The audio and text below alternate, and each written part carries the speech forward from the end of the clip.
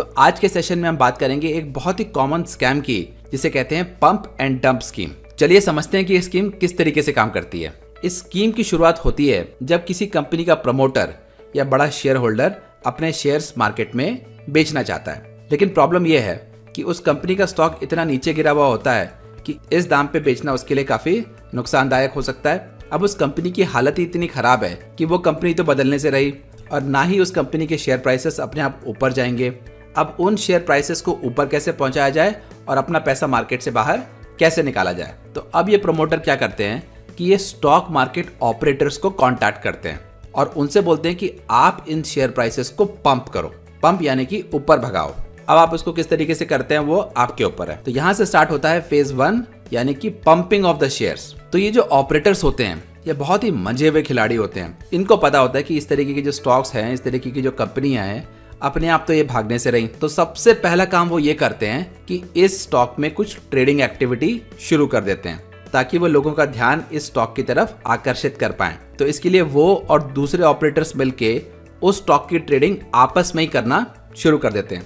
एक बेच रहा है, एक खरीद रहा है, एक बेच रहा है, एक खरीद रहा है। तो ये सारी की सारी ट्रेडिंग आपस में ही हो रही है। बाहर वाले इन्वेस्टर्स अभी तक इस स्टॉक में नहीं घुसे हैं। पर ये ट्रेडिंग ये लोग इस तरीके से करते हैं कि स्टॉक के प्राइसेस जो हैं पाँच परसेंट, दस परसेंट या पंद्रह परसेंट ऊपर भगा देते हैं। अब होता यह है कि जब बाहर से दुनिया देखती है स्टॉक को, कई टेक्निकल ट्रेडर्स हैं या फिर रिटेल इन्वेस्टर्स हैं, उनको लगता है कि स्टॉक में एक प्राइस वॉल्यूम ब्रेकआउट हो गया है। भाई, क्योंकि वॉल्यूम बढ़ गई है स्टॉक में अचानक से और प्राइस भागने लग गए हैं। इसकी वजह से शुरू शुरू के कुछ इन्वेस्टर्स और ट्रेडर्स अपना पैसा स्टॉक में लगाना शुरू कर देते हैं। और इसकी वजह से स्टॉक का प्राइस थोड़ा और भाग जाता है। लेकिन इस ऑपरेटर का ये काम नहीं है कि स्टॉक को सिर्फ़ 10-15 परसेंट भगा करके प्रमोटर को बाहर निकालना। इस ऑपरेटर को भगाना है स्टॉक को 50 परसेंट, सौ परसेंट या इवन 200 परसेंट। तो इसके लिए तो अभी बहुत सारी टेक्निक उनको और लगानी बची है। अब वो क्या करते हैं कि एक मास प्रोपोगेंडा कैंपेन चलाते हैं। सबसे पहले वो हज़ारों, लाखों रिटेल इन्वेस्टर्स को फेक एसएमएस भेजते हैं कि देखिए, इस कंपनी में बड़े इन्वेस्टर्स जैसे कि राकेश झुंझुनवाला हो गए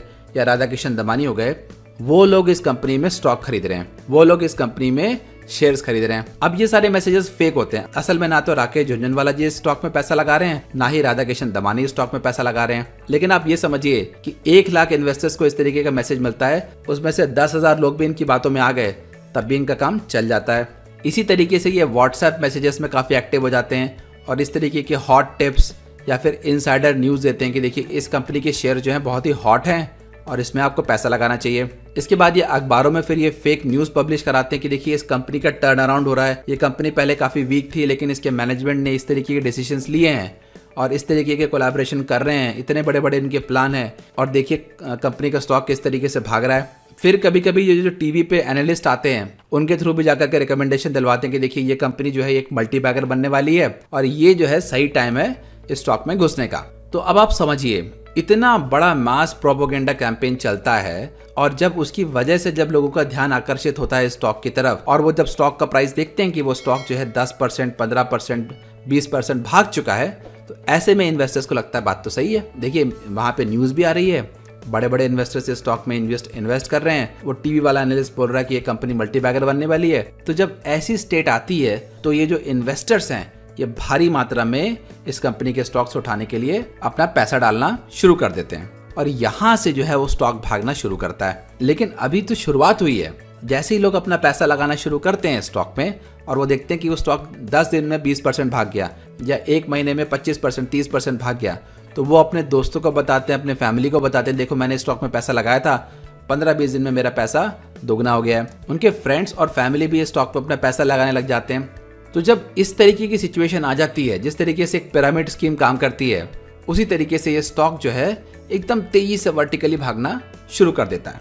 और जब स्थिति ऐसी आ जाती है कि स्टॉक 100 परसेंट, दो सौ परसेंट, तीन सौ परसेंट भाग चुका होता है, अब यहाँ से फ़ेज़ टू शुरू होता है डंपिंग ऑफ़ शेयर्स अब ये ऑपरेटर जो है प्रोमोटर के पास जाके बोलता है कि साहब, मेरा काम तो हो गया, मैंने आपकी कंपनी के स्टॉक्स को ऊपर पहुँचा दिया है अब आपको जो करना है, आप करो। तो प्रमोटर क्या करता है? प्रमोटर के तो बारे न्यारे हो गए। तो अब वो क्या करता है? अपने अपने शेयर जो है वो बेचना शुरू करता है। अब ध्यान देने की बात यह है कि उसको ये पता है कि अगर मैं बहुत तेज़ी से शेयर्स बेचूँगा तो लोगों को समझ में आ जाएगा। तो वो क्या करता है? धीरे धीरे धीरे करके शेयर से अपने बेचना शुरू कर देता है। और कुछ दिनों में और कुछ हफ्तों में वो स्टॉक से पूरी तरीके से बाहर हो जाता है। अब आप समझिए लोगों की सिचुएशन अब लोगों ने स्टॉक खरीदा हुआ है। अब जिन लोगों ने उस स्टॉक को खरीदा हुआ है वो वेट कर रहे हैं कि स्टॉक ऊपर जाए। लेकिन अब उस स्टॉक को खरीदने वाला कोई बचा नहीं, क्योंकि न्यूज़ फ्लो खत्म हो गई है, किसी के पंपिंग करने के, कोई और स्टॉक को पंप करने वाला बचा नहीं है। तो स्टॉक जो है धीरे धीरे करके गिरना शुरू करता है। तो अब कई लोग जो होते हैं, उनको लगता है कि हाँ ठीक है भाई, इतना दूर स्टॉक भागा है तो छोटा मोटा करेक्शन हो रहा होगा स्टॉक में, और उस स्टॉक से वो एग्जिट लेते नहीं है। लेकिन अब ये जो स्टॉक गिरना शुरू करता है, और फिर जो है वो जहाँ से शुरू हुआ था, वहाँ पे जाकर के रुकता है। और रोज, और जितने इन्वेस्टर से स्टॉक में फंसे हुए हैं, हर रोज वो मार्केट में आते हैं, अपना ऑर्डर डालते हैं। हर रोज ये कंपनी लोअर सर्किट लगाती है और हर रोज उन लोगों के ऑर्डर रिजेक्ट होते हैं। तो सिचुएशन कभी कभी इतनी बुरी बन जाती है कि लोग फंसे हुए हैं, वो देख रहे हैं उनकी आँखों के सामने वो स्टॉक 10 परसेंट, बीस परसेंट, तीस परसेंट, पचास परसेंट गिर रहा है, लेकिन वो स्टॉक से बाहर नहीं निकल पाते हैं। तो आप समझ ही सकते हैं कि कितना बड़ा बड़ा नुकसान लोग लेते हैं स्टॉक इस तरीके के स्कैम में। अब आपको मैं कुछ अगर प्रैक्टिकल एग्जाम्पल्स दूँ एमटेक इंडिया का स्टॉक देखिए। इस कंपनी पे कुछ इल्ज़ाम थे कि कुछ फाइनेंशियल इरेगुलरिटीज़ में कर रही थी, लेकिन उन्होंने क्या किया कि अपनी कंपनी का नाम चेंज कर दिया एमटेक इंडिया से कैस्टेक और इन्होंने एक बहुत बढ़िया पंप एंड डंप स्कीम चलाई, और हज़ारों इन्वेस्टर्स को इस स्टॉक में नुकसान हुआ। इसी तरीके से आप देखें सुराना सोलर इसके बारे में मैंने एक और वीडियो में बात की है। बहुत ही बड़ा पंप एंड डंप ऑपरेशन था। और इस स्टॉक की खास बात ये लगती है मेरे को कि ना केवल इस स्टॉक में लोगों को, लोगों ने एक बार पैसा गवाया, बल्कि दो बार पैसा गवाया। तो समझ ही सकते हैं कि जो लोग मार्केट में आते हैं वो ध्यान नहीं देते कि एक बार जब इस कंपनी में पंप एंड डंप हो चुका है तो दूसरी बार भी हो सकता है। पर बात वही है, अगर आप आँख बंद करके अपना पैसा मार्केट में लगाएँगे तो आप किसी पे इल्ज़ाम नहीं दे सकते, अगर आप अपना पैसा खो देते हैं। और बाय द वे ये पंप एंड डंप स्कीम्स जो सिर्फ़ इंडिया में स्पेशल नहीं है, ये दुनिया भर में चलती हैं।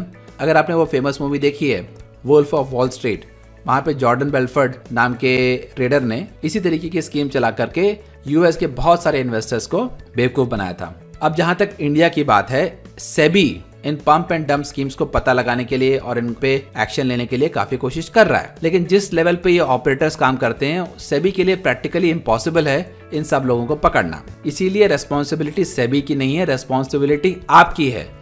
तो अब मैं आपको तीन चीज़ें बताता हूँ, जिन चीज़ों का अगर आप ध्यान रखेंगे तो आप इन पंप एंड डंप स्कीम से बच सकते हैं। पहली बात तो ये कि आपको कोई अगर एसएमएस या व्हाट्सएप मैसेज आता है, जहाँ पे किसी स्टॉक का रिकमेंडेशन है, या फिर ये बोला जाता है कि किसी बड़े इन्वेस्टर ने उसमें पैसा लगाया है तो उस पर आप कभी भी विश्वास ना करें। अब भाई, आप लॉजिकली आप इस चीज़ को सोचें, अगर इतना अच्छा स्टॉक है कोई अनजान आदमी आपको एसएमएस करके क्यों बता रहा है? वो खुद स्टॉक लेकर के बैठ क्यों नहीं जाता? दूसरी बात, जो ये एक्सपर्ट्स आते हैं टीवी पे या फिर न्यूज़पेपर पे, वो जो एडवाइस देते हैं कि स्टॉक में आपको पैसा लगाना चाहिए, उस पर भी आप आँख बंद करके पैसा कभी ना लगाएँ।